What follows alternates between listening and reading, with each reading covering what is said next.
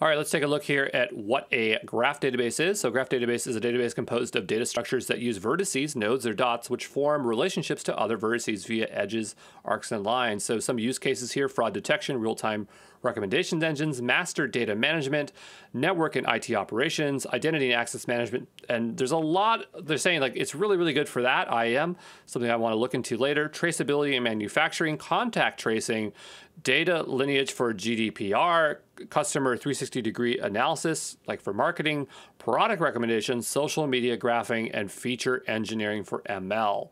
So let's just kind of break down, you know, the little components here. So what you'd have is a node, and a node can contain data properties, and then through that it would have a relationship uh, through an edge, and that relationship can uh, have a direction and also data properties on it. And so it's a lot more um, verbose like in ter- uh, than uh, a relational database, and also just how it can point to stuff. So, uh, super useful uh, for particular use cases.